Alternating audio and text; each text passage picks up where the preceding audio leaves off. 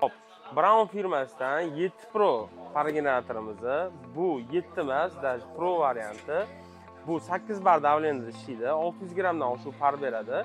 Elaksal podoshvali bo'ladi. Bugun buni sizlarga ochib ko'rsatib, obzor qilib beramiz. Qani ketdik.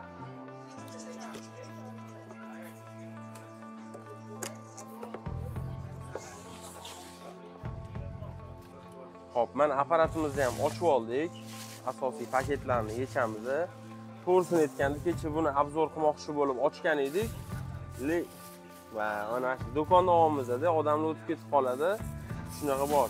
Hop, buni ochgan edik kecha mikrofonimiz zvuk ishlamay qoldi. Shuning uchun mana boshqatdan olyapmiz sizlar uchun maxsus.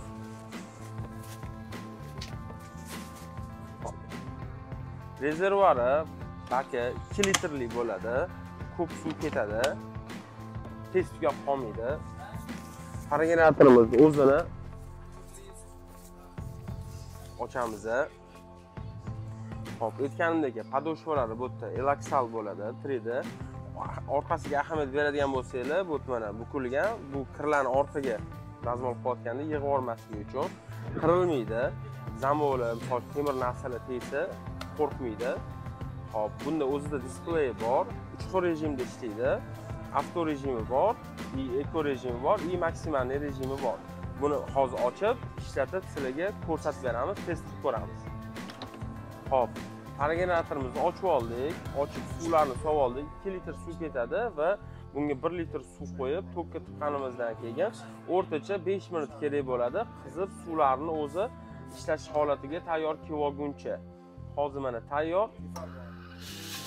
Bosamiz, parlani beradi.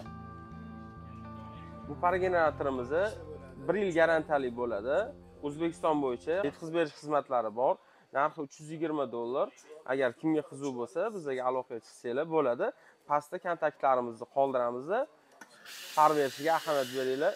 Bu o'zini segmentidagi eng мощный pargenatorlardan bittasi. Buni konkurenti tifal faqat 8 bar давление. Brownni bugun obzorini sizlar bilan qildik. Keyingi safar nimani obzorini qilishimizni xohlaysizlar? Buni kommentariyada yozib qoldiringlar.